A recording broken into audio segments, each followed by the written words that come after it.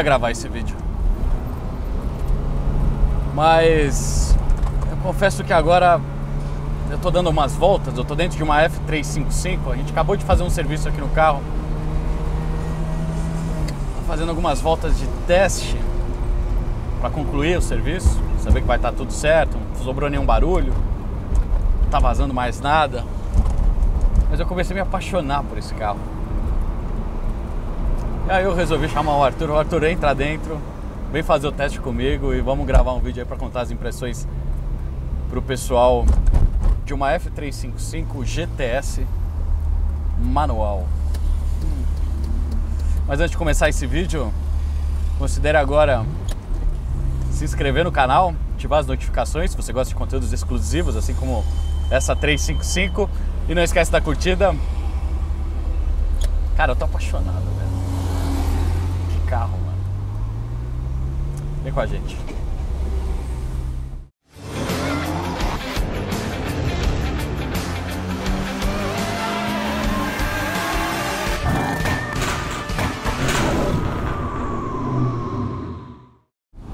Bom, então vamos lá.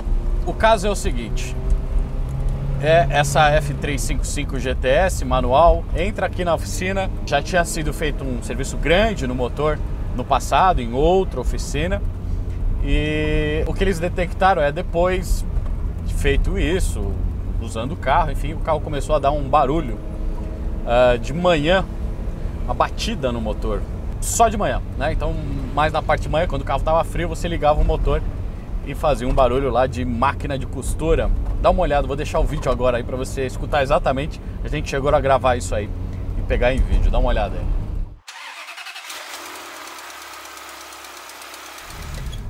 Bom, e aí, uh, o que, que pode ser isso? Na verdade, várias coisas, né? E, infelizmente a gente não tem hoje uma máquina de ressonância magnética ou tomografia para a gente acessar o motor sem abrir o paciente, né? Apesar que existem algumas máquinas de ultrassom para você pegar a parte de soldas, enfim, mas não é o caso aqui. O que a gente tinha que fazer aqui no caso aí era fazer o diagnóstico mesmo. A gente percebia que esse barulho vinha da parte ali superior do motor mesmo, mais do lado esquerdo, né?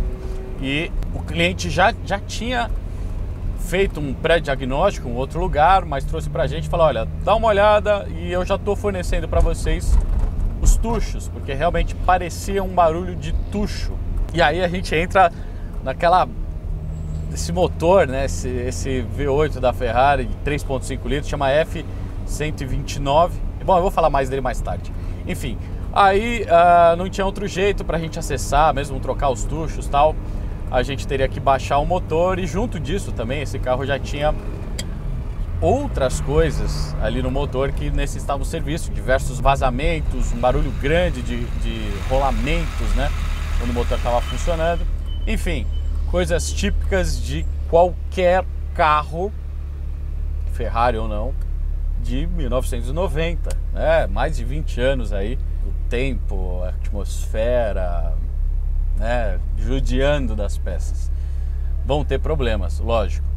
E aí foi o que a gente fez, a gente começou a fazer um diagnóstico, sacamos o motor do carro. Como vocês podem ver aí agora, a gente tem algumas imagens do cofre sem o motor.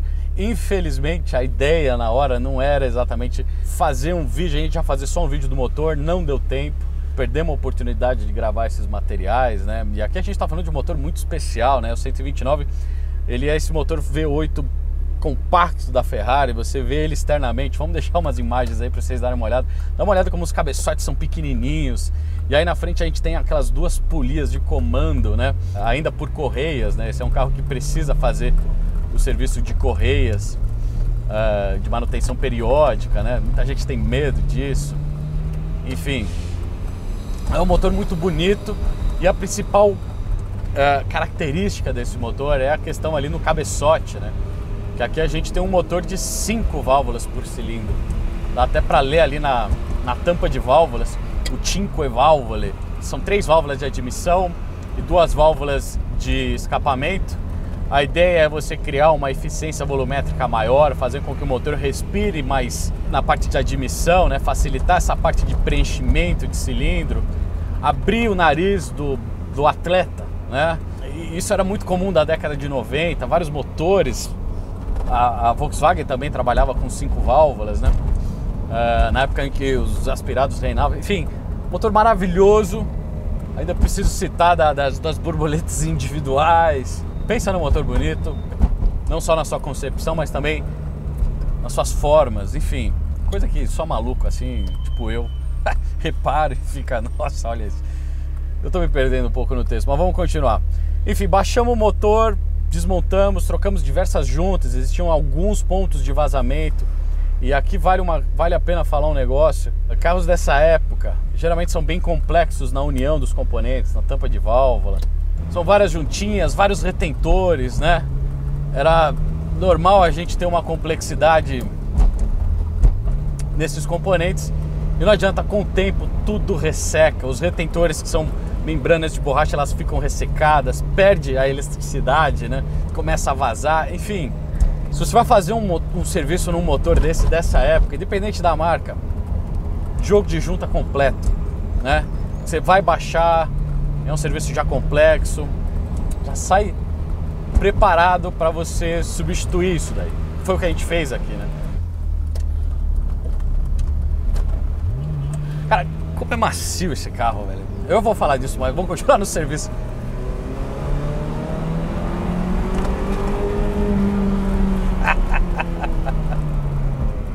Cara, olha, olha o sensorial. Pastilha de freio faz oito. Vou falar disso também. Enfim, baixamos o motor, trocamos os tuchos de válvula conforme a solicitação do cliente. Existia uma grande chance de ser um problema assim dos tuchos. Lembrando que a gente não tem o histórico do que foi feito anteriormente nesse motor. Uh, mas o cabeçote estava recebendo lubrificação, a gente estava com os comandos inteiros, uh, nenhum grande desgaste ali. Muito interessante ver também a questão da, da, do, do desenho das cinco válvulas, né? o comando com os três lobes, os três lobes sendo intercalados entre os mancais, muitos detalhes que eu deveria ter gravado para vocês, mas enfim, não, não, não deu tempo. Eu estou muito triste com isso. Fizemos o serviço, substituímos as juntas, bomba d'água também, super complexa, vários rolamentos, os, todos os componentes são, são vendidos separadamente, o rotor estava comido, trocamos isso, Aí depois a gente tinha a questão de todas as partes de mangueira, conexões, coisas que eu já venho falando aqui de vários outros serviços muito parecidos em outros carros, outras Ferraris, outros carros de época também. Né? Fizemos tudo isso. Trocamos as juntas, mangueiras, os tuchos fornecidos. Depois montamos o carro, detectamos ainda um vazamento ali na parte dos coletores, fizemos uma solda. Mas o barulho, depois disso tudo, uh, que a gente fez, trocamos rolamentos, sumiu. Então, estou usando o carro aqui até agora, estou nesses testes finais. Em nenhum momento o motor voltou a fazer aquele barulho, tanto a partida fria como também uso normal agora.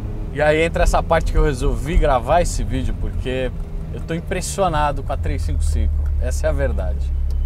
A primeira coisa que a gente precisa falar é que a 355 está na época, para mim, de ouro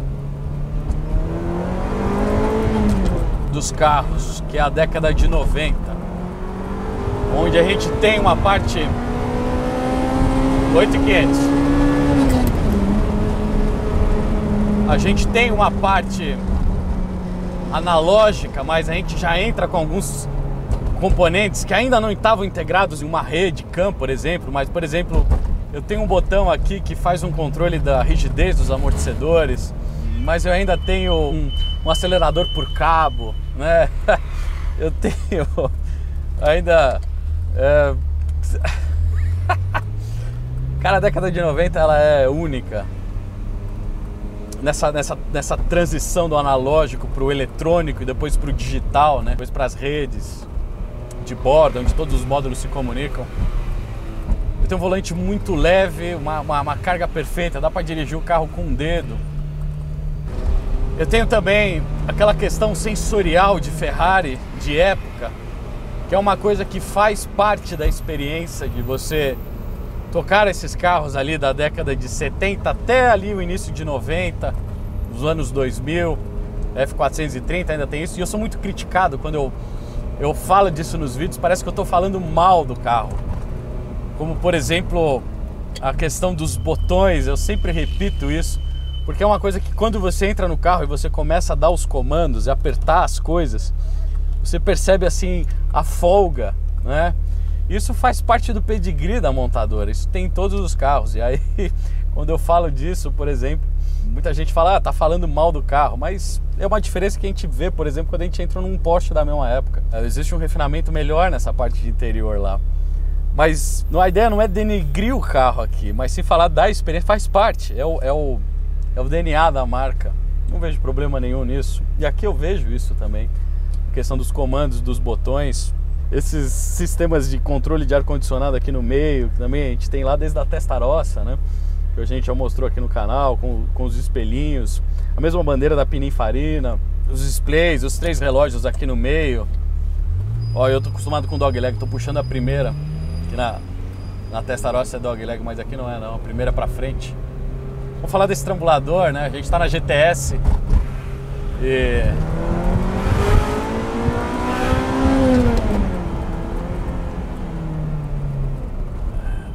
motor toda a faixa de carga, não tem uma hesitação, não, não tá falhando, não tá esquentando, né? É, cara, na verdade eu tô bem impressionado. Voltando pro trambulador, a gente tem um câmbio de grelha aqui, né? Esses carros eles foram os primeiros ali a sair com aquela é, transmissão semi-automatizada, né? Da, que a gente já falou muito, tanto tempo aqui no canal, apesar de aqui é um modelo inicial mesmo, né? Mas aqui não, a gente tem um manual, a gente não tem o câmbio F1. Muita gente critica isso, mas enfim. Sim, eu prefiro o manual, é lógico que eu prefiro o manual. Meu primeiro carro foi uma M5 e eu comprei porque ela era manual. Mas nada contra o F1. Se estiver bem calibradinho, funciona bem, dá um, dá um pedigree pro carro. Vamos lá, 8,500 de novo.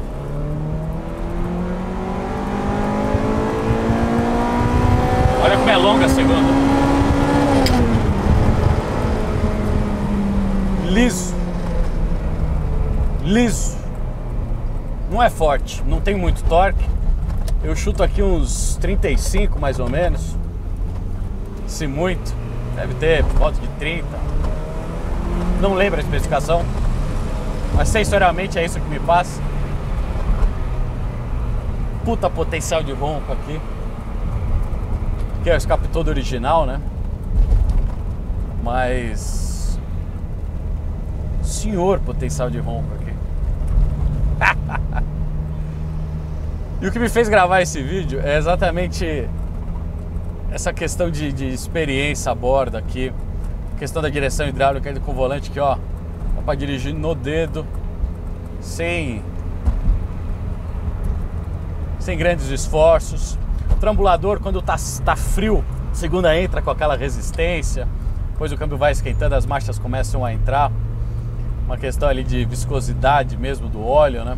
Vamos voltar um pouquinho para a parte de ruído de carroceria. Tem os grelhinhos, quando a gente freia tem aquele apito. O teto, né, quando vem a dobra a carroceria, ele acaba sendo pressionado.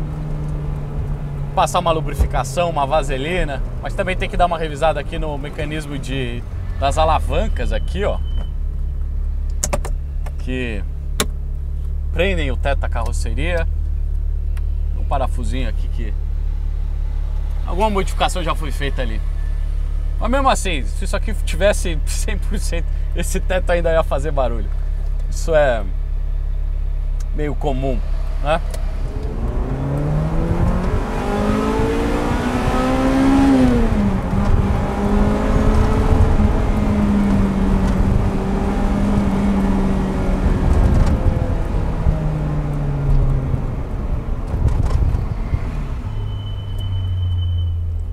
Barulho de freio. Como assim? Vocês não viram o freio do carro? O freio tá fazendo barulho, vai explodir. Não, calma, gente. É o seguinte: existe uma ressonância que causa uma. Isso, isso pode dar em qualquer carro.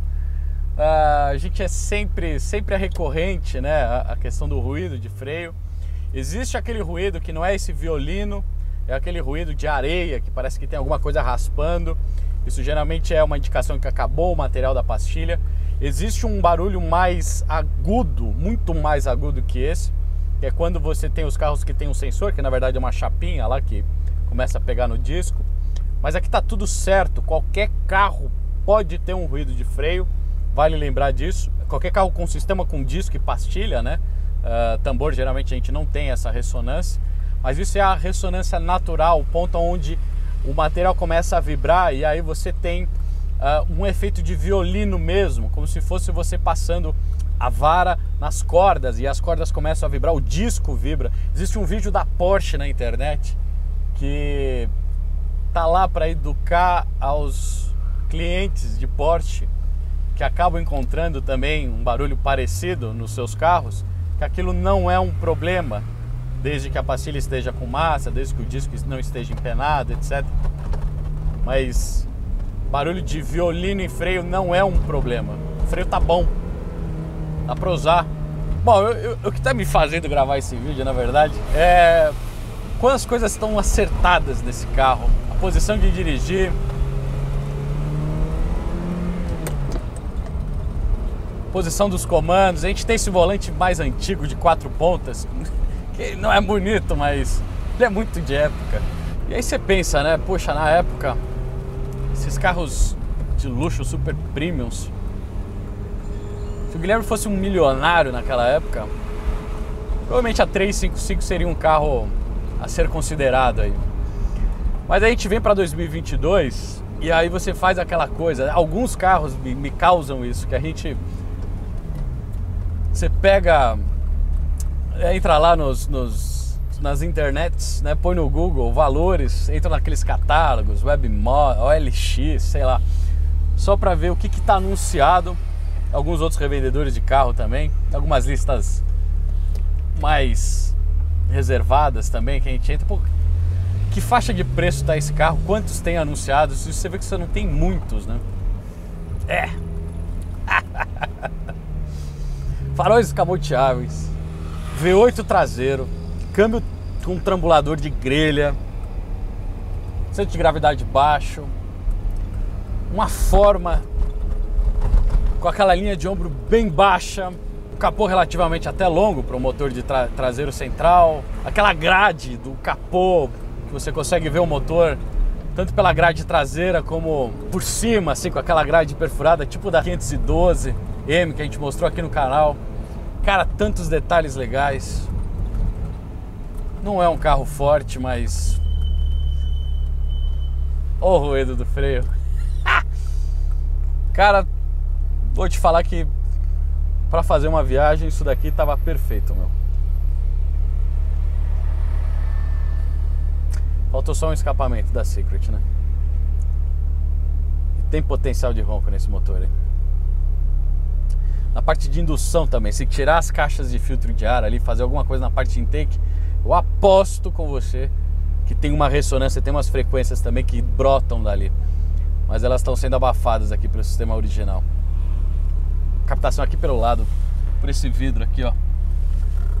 Daria pra fazer alguma coisa ali também. Hein? Fiquem espertos vocês aí que gostam de clássicos nessa faixa de preço. Entre uma 355 e uma 360 Modena e uma F430 Essa aqui. Sem dúvida alguma. Bom, então é isso, senhores. A gente não vai fazer aquela apresentação da 35. Ela era merecia, né?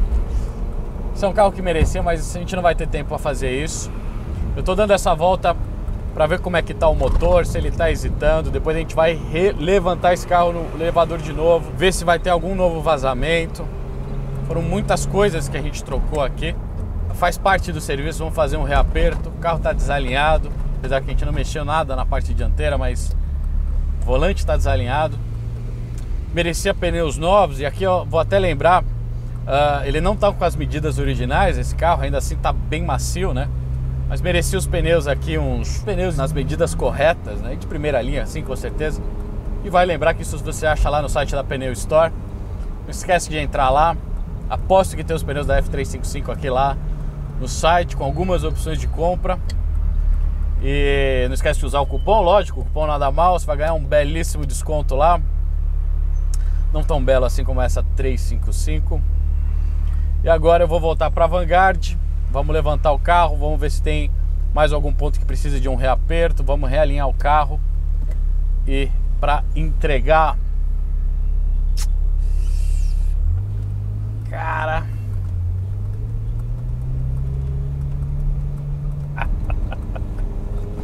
que carro, mano. E aí, senhores, então esse vídeo fica por aqui. Eu sou o Guilherme e esta é a Vanguard.